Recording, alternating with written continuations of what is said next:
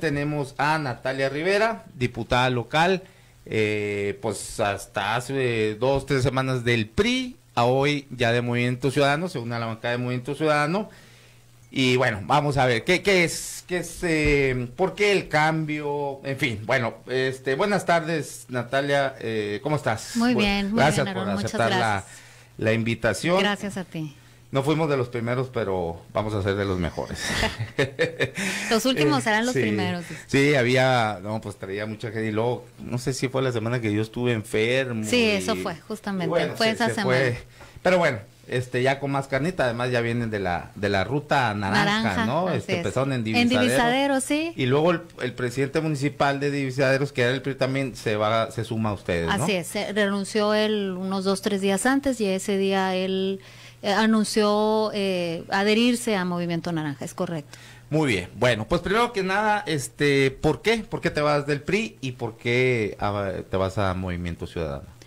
Bueno, antes que nada decirte, Ed- Edgardo, y digo para quienes nos escuchan, esperen esa Edgardo entrevista. Ganado. Edgardo Ah. Ganado, Kim, de verdad esperen esa entrevista. Va a ser lo mejor de hoy. Sí. Es de primera, de verdad, Edgardo Ganado sí es una gente muy reconocida y yo tuve el gusto de conocerlo personalmente en una ocasión y es realmente una autoridad. Yo voy a quedarme a escucharlo. Eh, eh, y por otro lado, este, ¿por qué? Mira, Aaron, yo creo que esta fue una de las decisiones más importantes, quizá sacando cuentas de las cinco decisiones más importantes que yo he tomado en mi vida. Yo soy política, estudié administración pública. 30 Desde- años de militante. ¿no? 30 años de militante. Sí, em- empecé a a asistir al partido a los 16 años, a los 18 ya formalmente empecé a militar, tengo 48 años, entonces hay ahí una historia y una trayectoria muy larga. Eh, soy política, esa es mi vocación. Estudié administración pública, me he especializado, estoy formada en la administración pública, me gusta lo que hago, amo mi trabajo, nunca le he regateado un minuto de esfuerzo ni mi tiempo, le he regateado más a mi familia para darle a mi trabajo porque ahí está algo que me apasiona. Pero yo creo que la política eh, no se hace desde el miedo, no se hace desde el rencor, la política no se hace desde las dudas, no se hace desde la división, la política no se puede hacer desde ahí. La política se debe hacer desde la unidad, desde la alegría, desde las ideas, desde la esperanza.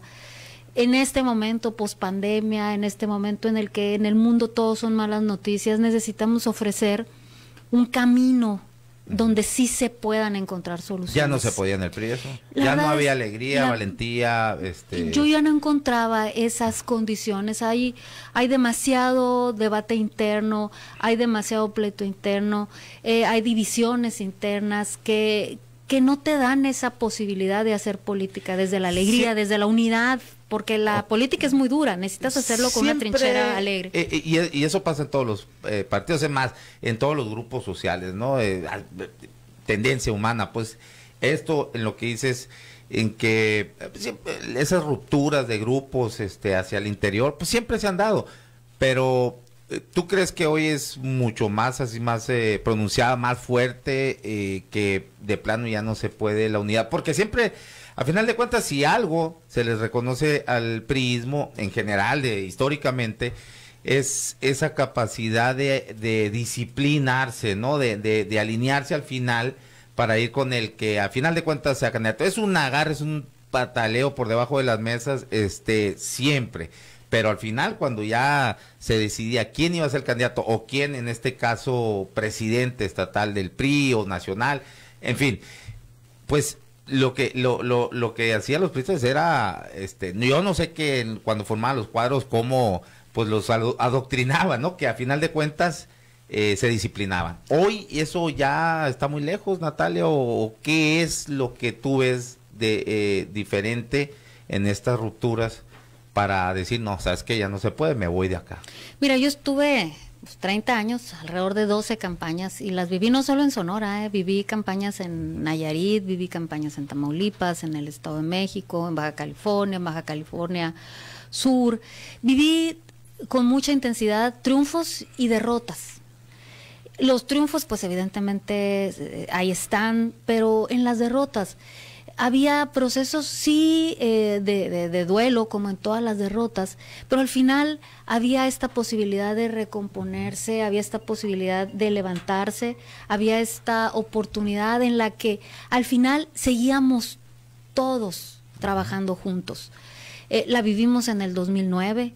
Yo recuerdo a los viejones maravillosos, don Héctor Parra Enríquez, el arquitecto Flores López, mis, mis, mis, viejos muy queridos, por cierto. Oye, pero eso es, eh, bueno, el arquitecto si estuviera vivo a lo mejor o lo anda queriendo revivir Onésimo, porque he visto que anda este yendo por de ese tipo de, de perfil ya muy avanzado en edad y los está integrando, ¿no? Sí. Este... Mira, en ese, en ese momento que te platico, ellos integraron, yo recuerdo en el 2009, unas mesas de autocrítica y de, y de autoanálisis de por qué habíamos perdido, pero al final estábamos todos, seguían representados todos los grupos. Al final eh, estaba, había la esperanza de que era esto una derrota mm, coyuntural y que se podía salir adelante, que se podía recomponer, que se podía reconstruir. Lo que yo percibo ahora, y mira, yo creo que esta será, y, y es porque eres tú, la última vez que lo diga, yo en mi carta decidí, dije que no voy a hablar mal del PRI, una marca que defendí con tanta pasión por tres décadas,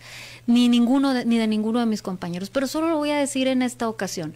Yo creo que lo que percibo ahora es más una derrota del espíritu, esta idea de desplazar, de decir, bueno, vamos a desplazar no la había vivido. Regularmente quien llegaba, llegaba a reconstruir más que a desplazar. Llegaba a buscar a todos los demás para ver cómo podíamos reconstruir más que a desplazar. Y en algún momento todos estuvimos en la banca temporalmente y tal, pero sabías que al final se podía reconstruir. Eh, yo, yo, yo lo veo así, esa es mi opinión personal. Fue una decisión muy compleja, muy profunda, personalísima y, tiene que ver con eso, tiene que ver con el lugar desde donde quiero seguir haciendo política. Y siempre voy a hablar con respeto de quienes fueron mis compañeros, con respeto, con cariño, porque además, Aarón, quizá en algún momento del camino nos volvamos a encontrar a dar batallas juntos. Entonces, eh, un poco esto sería las razones, digamos, más profundas de la decisión. Ok, eh, fuiste, a ver, sinceramente, este fuiste blanco de, de fuegos amigos, bueno, que siempre sean, pero hubo, por ejemplo, una campañita negra al final de tu, eh, es más, creo que ya habías, habías renunciado a la, a la, la última semana, la, última, antes de renunciar, la última semana. Tenías la pluri, te habían dado la pluri, este, eh, o te la habías ganado, ahorita entramos a eso y de pronto sale una campaña de donde eres, no sé qué, propietaria, socia, no sé cuántos camiones estos de carga y todo esto. Eh, eh, demostraste, eh, no me quiero meter ya mucho, no, porque fue algo este que ya lo, demostraste que no era así, pues, ¿no? y, con documentos y todo, ¿no? pero, a ver, yo como periodista, bueno, pues cuando veo eso empiezo a indagar y dije, bueno, a ver si, si publico algo, pero pues me gusta primero corroborar la información. Y a mí lo que me dio, que me dio mi análisis y con fuentes y todo esto, es que venía desde adentro, de mismo de adentro el, esta campañita. Fue así, ¿no? A ver si mencionar ahorita nombres, porque ahorita igual y te los menciono, pues, pero a mí me parece que te querían tumbar la pluri. Mira, es muy probable. De hecho, ese era el contexto. El contexto era en el que yo estaba renunciando a una responsabilidad en el sector público, justamente para, para buscar una oportunidad que había sido eh, un sueño personal por décadas. Yo nunca había podido, ya, estuve a punto de llegar en el 2015, había sido diputada plurinominal ya electa, pero eh, tuve que renunciar y tuve que pedir licencia para incorporarme al servicio público y seguir trabajando y trabajar como siempre lo he hecho, sin, sin regateos. Eh, era ese contexto, es natural pensar, claro, yo también en su momento lo pensé así y, así lo traté el asunto, era muy natural pensar que tenía que ver justamente con ese contexto, con mi llegada, a mi búsqueda de una oportunidad como, como legisladora, como diputada plurinominal, y sí, era un mecanismo para taclear, para decirlo en palabras deportivas, para taclearme en un momento. ¿Quién lo hizo? ¿Quién lo hizo? ¿Quién lo hizo? Eh, yo pudiera especular mucho. He decidido dejar también eso, Aarón, en el pasado. lo más importante para mí era demostrar que eso era una falsedad, como muchas otras eh, situaciones eh, que puedes enfrentar en la vida. Para mí lo más importante era demostrar que eso era falso y que yo, mi, mi vida, mi trayectoria personal, mi estilo de vida, demostraban que yo era una persona que vivía exclusivamente de su sueldo. Por cómo se movió, y lo voy a decir aquí porque luego la gente a lo mejor cree que, que, quiero estarte aquí lavando la cara con esos comentarios, pero lo voy a decir muy claro porque yo cuando investigo es lo que a mí me da y, y, y, y, por cómo se movió la noticia, por quién la manejó, por quién la publicó, a mí me parece que era eh, este el, el exsecretario de gobierno, Miguel Pompa Corella, eh, en conjunto con este Jorge Durán, eh, el Pano Salido, Ivonne Andrade o uno de ellos. Si no era todo en su conjunto, uno de ellos. ¿Qué es lo que, qué es lo que yo creo que pudiera ser? Que el potrillo, cuando en ese momento era el de la pluri, que eso se le arrancó el pato, bueno, esa es otra historia, ya lo hemos platicado acá, eh, no, que, no te quería tener en la bancada. Mira, no lo sé, no, la verdad no lo sé, mm, no, no me enveneno el alma en eso. Te digo que la política no se puede hacer desde el rencor, la política no se puede hacer desde la revancha. No te puedes, no te puedes quedar atascado eh, y dando vueltas en eso. La política no puede ser una caminadora donde te mueves y no avances. Yo lo que me importaba era demostrar que cualquier infundio era eso, un infundio, una calumnia, una mentira lo demostré con papeles como lo he hecho toda la vida y a seguir adelante, Aarón, porque la verdad es que en esta actividad tienes que avanzar. La política no es una no es una actividad fácil, realmente necesitas tener mucho carácter y mucha fuerza interior. Eh, es una actividad hostil. Luego entonces justo por eso tú decides en qué trinchera te instalas, en qué esquina te pones eh, para desarrollar esta actividad que sin ser fácil sin ser sencilla, también es muy apasionante y también es una oportunidad de construir maravillosa. Ok. En el PRI, bueno, si bien este, eh, por lo que han hablado, bueno, más que tú, este, Ernesto de Lucas, el pato, eh, él le ha dicho que sea por, por, por, como una o algo de lo, de lo que ya derrama la, gota de vaso de agua es la imposición que evidentemente se da desde la dirigencia nacional para imponer acá a Onésimo Aguilera como el presidente estatal del PRI. Eh, imposiciones siempre las ha habido, ¿no? En, eh, en el PRI yo creo que es parte, ¿no? De, de su cultura. Pero este en MC pues también se han, y, creo que más fuerte porque ahí sí es un solo hombre el dueño, desde la existencia, desde que era convergencia, pues el dueño de, de, a veces parece franquicia y que se renta o que se otorga este a franquiciatarios en, en, ciertos estados, como fue el caso aquí, por ejemplo, con Ricardo Bus, eh, y ese hombre, el dueño de MC, se llama Dante Delgado. ¿No temes a que este pues suceda lo mismo o peor? O eh, en alguna entrevista escuchaba que te decían, oye, ¿no temes que te pase lo mismo que eh, a Dolores del Río, que ella había trabajado el partido y de pronto no, pues llega con la chequera gorda este Ricardo Burs y la hacen a un lado y, y, y, ponen ahí a... Y, bueno, y le otorgan la franquicia, pues, ¿no? O le rentan el partido a Ricardo Burs. ¿Qué me puedes decir? Bueno, dos respuestas. La primera, no sé qué viviría... Eh, María Dolores del Río, eso solo ella lo puede saber y bueno, siempre hay dos no, partes, lo dijo, siempre hay dos partes de la historia, ¿verdad? La siempre habrá dos partes de la historia y serán estas dos partes de la historia quienes tendrían que conversarla. Mira, te voy a contar una anécdota que yo quizá no he platicado nunca y es que cuando llega el delegado del Comité Ejecutivo Nacional, yo formaba parte de la Comisión de Procesos Internos y estábamos hablando en el, yo estábamos hablando de la importancia de la legalidad del proceso. Y yo recuerdo que yo sí le dije al delegado que era muy importante la legalidad, pero también la política, y que no se utilizara la Comisión de Procesos Internos de portería, que no fuera ahí, que fuera en el proceso donde se decidiera. Eh, es muy importante la claridad de las reglas, No puedes decir que vamos a jugar con estas reglas y luego jugar con otras. Creo que esa es la parte donde la incertidumbre mata donde la incertidumbre mata. Cuando hay claridad en las reglas, cuando tú sabes cuáles son las reglas del juego, las entiendes y entonces juegas bajo esas reglas del juego. Lo que no se vale es que te digan que las reglas del juego son unas, son vamos a jugar democracia, se van a registrar, se va a instalar la comisión de procesos internos y luego las reglas sean otras. Y yo lo dije con claridad, que no sea la portería, que no sea en los papeles, que sea en la política donde se dirija. ¿Y, tú crees que esas reglas así van a ser en, en sí va a haber claridad y, y no va a haber ese acomodo después de reglas este a conveniencia en MC? Yo esperaría que no. Con estos antecedentes. Me gustaría que no. Me gustaría eh, que lo que percibo y lo que he visto desde ahorita, este, que la limpieza de miras que, eh, que veo en muchos de ellos, que eso así sea, eso, a eso llego, con esa esperanza llego, con esa ilusión llego, a dar la batalla así llego. Eh, yo esperaría que no, yo, yo esperaría que las reglas sean así, tan claras como tú las planteas. Así, así son las reglas, bueno, así las entiendes, así las asimilas y bajo ese esquema entonces te pones a trabajar.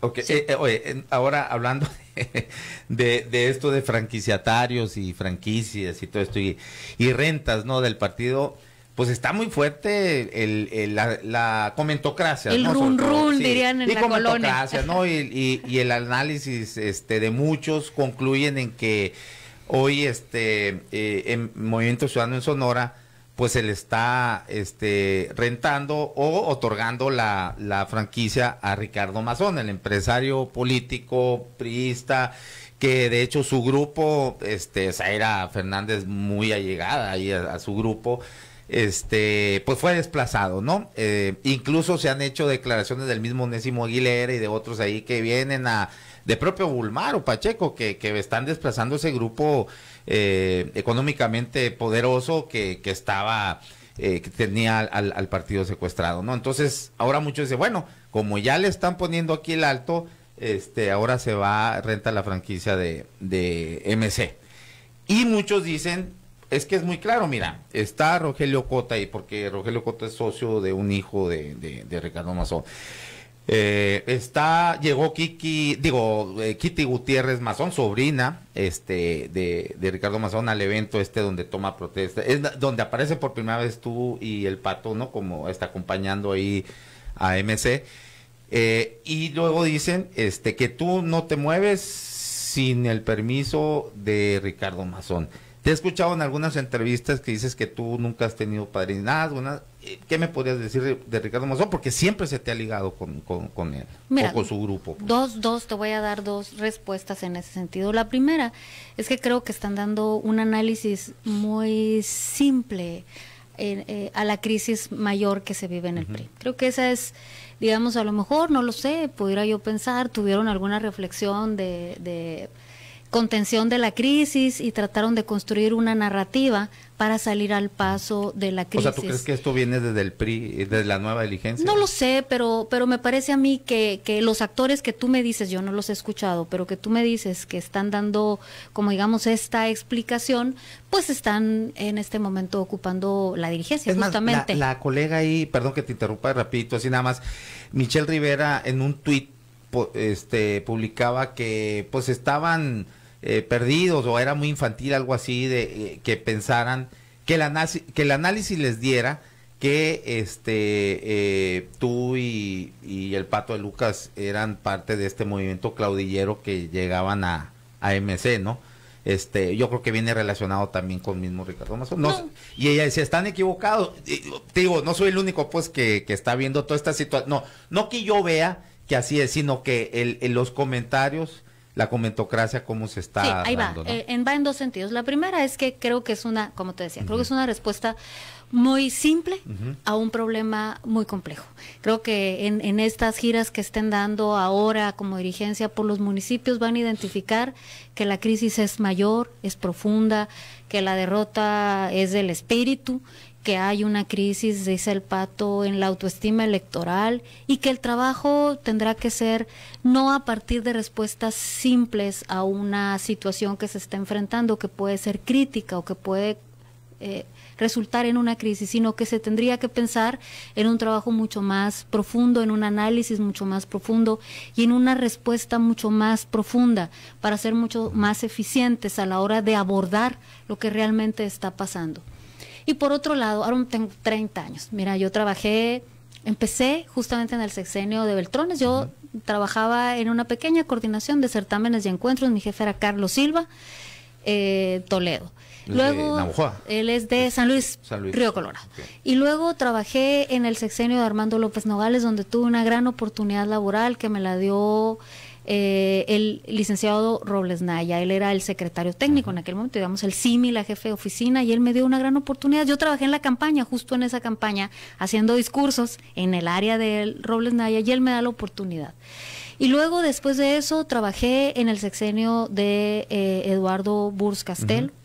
Luego eh, perdemos la elección y me voy por medio país y, fui regidora, pero trabajé después de ser regidora o junto al paralelamente con Alfonso Elías Serrano. De hecho, a mí me tocó coordinar en su campaña Hermosillo, que se pierde por 900 votos después de haberlo perdido por 30 mil y 17 mil.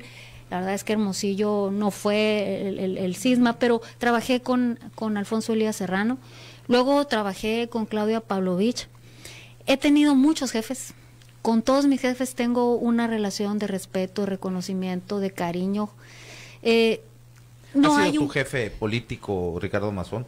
Porque siempre se, te, insisto, o sea, siempre eh, te ha sido relacionado. Fíjate que con, con, Ricardo Mazón yo empecé a, tenemos una amistad, es una amistad como la que tienen muchos, y la empecé a tener más o menos, yo pienso que alrededor del 2014, 2013, 2014 pero no tengo, Aaron, un jefe político, no tengo un padrino político. Eso quizá es bien raro para mucha gente que, que, no tenga un padrino político. Yo entré a la política sin tener tíos, primos, hermanos, pedigrí político. No hay ningún Rivera Grijalva, ningún Rivera, ningún Grijalva pariente mío. Quizá lo más cercano que tuve en la década de los setentas fue que mi abuelo fue presidente municipal de Cumpas, era maestro, por lo tanto todos los maestros eran presidentes municipales ni, ni familia en la política, ni pedigrí, ni padrino. Creo que quizá por eso eh, mi crecimiento en política fue tan lento, Aaron, porque yo empiezo a los 18 años y, y casi hasta los 40 soy regidora.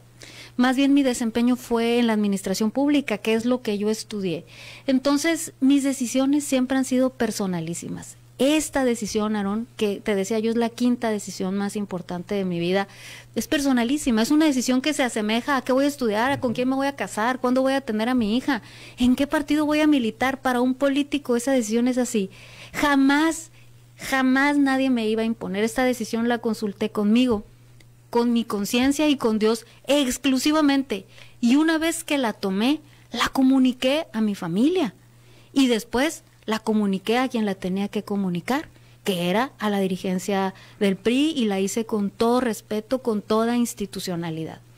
Muy bien, bueno, este, ya no, eh, bueno, el Puma ya nos está jalando aquí que nos tenemos que ir a pose y luego voy a entrar a la otra entrevista, pero bueno, eh, bueno, se me van a quedar algunas eh, preguntas ahí en el tintero, pero quisiera aquí hacer un ejercicio, mencionarte te voy a mencionar una serie de 10 nombres y tú me dices lo primero que se te viene a la mente. Nomás yo siempre a los a los este a los invitados les sugiero porque pues no les puedo exigir cómo van a contestar o no o que conteste, por supuesto, pero sí les sugiero que que pues no digan lo obvio, pues que por ejemplo, si te pregunto Salinas de Gortari, expresidente, eh, José Mujica, expresidente de Uruguay, no, pues eso ya lo sabemos. ¿Qué se te viene a la mente y qué, no, más o menos qué concepto tienes de ellos? Este, Álvarez Maínez sería primero. Eh, el futuro. Futuro naranja. Futuro naranja. Eh, Dante Delgado. Eh, habilidad extraordinaria. Alito Moreno. Pasado. Pasado el lanza. Ponle la pido que quieras, me dijiste una palabra. no, dije, lo primero que se te venga a la mente. No, yo, yo, es este, ok. Onésimo Aguilera o otro. Bueno, no, no, perdón, chingos ando aquí, este, metiendo mi cuchara. Onésimo Aguilera. También pasado. Eh, Miguel Pompa Corella, el potrillo. Pasado. Mario Fabio Beltrones. Inteligencia. Alfonso Durazo. Expectativa. Andrés Manuel López Obrador. Demagogo. Y ya me, y ese me cayó mal. bueno, este. Tú preguntaste. ¿Por qué me atacan a mi perrito? a tu cabecita de algodón. está bien. Eso hubiera dicho, pero si me dado chance de tres palabras, hubiera dicho cabecita de ya algodón. Hemos discutido varias veces y vamos a seguir discutiendo, seguramente no pasa nada. Si no, pues qué chiste, Así ¿no? es. Imagínate estarse hablando al espejo, qué, qué, hueva, pues qué no, no echándonos porras, pues no. Sí, este, Ricardo Mazón. Audacia. Pato de Lucas. Amistad. Natalia Rivera. Qué difícil, ¿no? Es lo más difícil. Es lo más difícil. Eh, congruencia. Ok, muy bien. Bueno, hay muchos mensajes ahí, pero híjole, los, los, voy a leer, este, pero pues ahorita ya, ya no, no me da tiempo, este, tenemos que, que ya el Puma me va a aventar ahí con lo que tiene, nos tenemos que ir a pausa comercial y, y, y iniciar la otra entrevista con el Edgardo Ganado. Natalia, muchísimas gracias, este, pues, ¿qué te puedo decir? Pues eh, éxito, ¿no? Este, a donde vas, eh, creo que va a ser muy complicado. Bueno, algo rapidito, que se enoje sí, Puma. Puma, no chance. ¿Cómo? A ver, e, es evidente, MC no tiene la estructura que podría tener el PRI en el, en el, en el, este, en el estado, en las elecciones, eh, este, han, no han llegado al doble dígito, digo, ya en general, en, en, en el estado, ¿no? En todo Sonora. Eh, ¿Qué van a hacer? ¿Qué, ¿Cómo van a trabajar? Le, yo creo que si algo se le reconoce a ti y a, al Pato Lucas es que si algo le saben es la estrategia electoral y cómo formar estructura, es más, hasta la tienda, digo, y seguramente más pues, eh, presidentes municipales de diferentes municipios se van a ir sumando MC, pero este, ¿cómo va, ¿cómo va a ser la estrategia de aquí al 24 para poder competirle? O bueno, creo que a mí me parece que va a ser muy complicado Morena al 24 no al, 20, al 24, pero sí para colocarse en una segunda posición, una fuerza, segunda, como fuerza, segunda fuerza política del Estado. Ahorita lo son ya en el Congreso, Así con es. cuatro, ¿no? Así es. Muy lejos de lo que es... Eh, los 14 sí, más de, sus de, aliados, más los- ajá, los 14 de Morena, más los aliados, está muy lejos, pero ya se coloca, y muy seguramente van a ser cinco, probablemente seis, pero bueno, ahí en el Congreso, pero de ahí afuera, en, en ¿cómo, ¿cómo va a estar la cosa? Mira, las, las derrotas y los triunfos no se construyen con una sola cosa. Hay que trabajar en 10 cosas para construir victorias este, en, en circunstancias así. A MC no llegamos y es que no haya nada. MC ha construido con mucha habilidad eh, eh, eh, cosas interesantes. Por ejemplo, MC es el único partido de las oposiciones, es el único movimiento de las oposiciones que tiene cuadros nacionales que pueden dar la batalla. Es el único. Yo creo que Pero son expriistas, son formados por sí solo apenas aquí. está está este el alcalde de Monterrey que es un cuadro muy importante pero además los cuadros políticos formados han sido de aquí para allá no me sí, digas sí. que en Morena No, no, están no, puros no, pues ahí es una químicamente no, puros verdad nada. no evidentemente pues han tenido una trayectoria política al igual que yo empezaron en un lugar están en otro así es la política así es la vida Arona además Eh, entonces no partimos de cero, partimos de un movimiento que ha construido que ha construido cuadros nacionales, que ha construido narrativa, que ha construido discurso, que se ha posicionado en la socialdemocracia, que tiene causas propias desde la sociedad. ¿Qué, qué, qué podemos aportar nosotros? Bueno, la experiencia que tenemos en el trabajo en tierra, en el trabajo cara a cara, en el trabajo casa a casa. Tenemos mucho que aprender de MC, sin duda alguna. Tenemos mucho que aportarle a MC, sin duda alguna.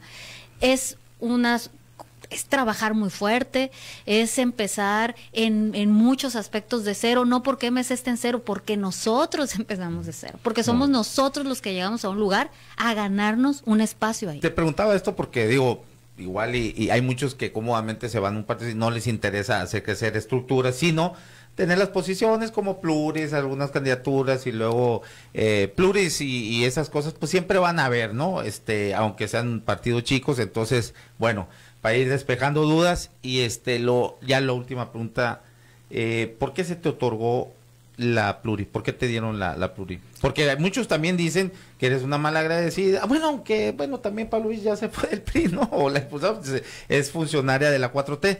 Pero ¿por qué, este, eh, por qué la pluri? Porque eh, te pregunto esto porque también, eh, genera, por lo general, este, o lo común es que se la den a los más allegados, o sea, que se beneficie eh, sí me explico, ¿no? Darle a los que se portaron bien, pues, en, durante el sexenio. Nada me fue regalado en el PRI.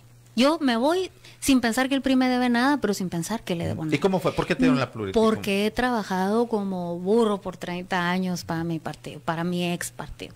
Trabajé en 12 campañas. Trabajé, jamás le regateé tiempo, jamás le regateé esfuerzo, jamás puse sobre la mesa nada para negociar nada. Quienes me conocen y vieron mi trayectoria ahí lo saben, profundamente institucional. Me gané a punta de sudor cualquier oportunidad que tuve y cuando la tuve la oportunidad, la llené de trabajo. Mira, en este caso, digo, elogio en boca propia es vituperio, pero viene a partir de la pregunta. Soy una diputada productiva. Entre iniciativas, exhortos y propuestas tengo ¿no? tengo una sola falta.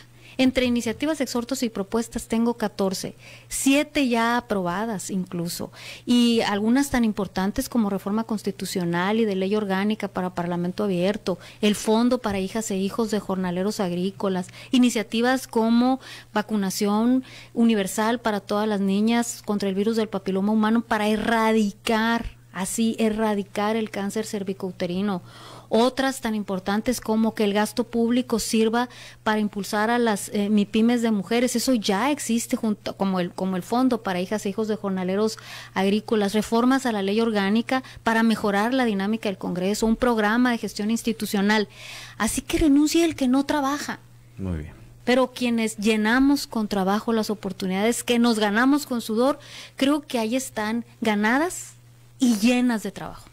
Muy bien, muchas gracias Natalia. y, sería bueno esta que eh, después vinieras a explicarnos esto de la iniciativa de las jornaleras, porque a mí me parece, a lo mejor estoy equivocado, porque el movimiento feminista, pues yo sé que hay grupos no es monolítico, pero no veo a nadie preocupada precisamente por los abusos que está, que son víctimas las jornaleras este, agrícolas acá en la costa, en Pesquera, en el Valle de Guaymas, en, todo. Es, el, es el más marginado de los más marginados. ¿Y cómo nació el feminismo? Una lucha laboral, ¿no? Cuando allá en una huelga y las, eh, las encierran a todas, queman la fábrica. Es, viene desde ahí y yo no veo, insisto, a lo mejor estoy eh, este, equivocado y hay un grupo de, de, de, feministas que sí están atendiendo esa cosa, pero yo no he visto eh, eso, ¿eh? Pero bueno, muchas gracias Natalia. Gracias, este, muchas gracias. Eh, bueno, vamos a una pausa comercial, regresamos. Sigue Edgardo Granados. ganado, ganado. Sí, en tres minutos regresamos, no le cambie.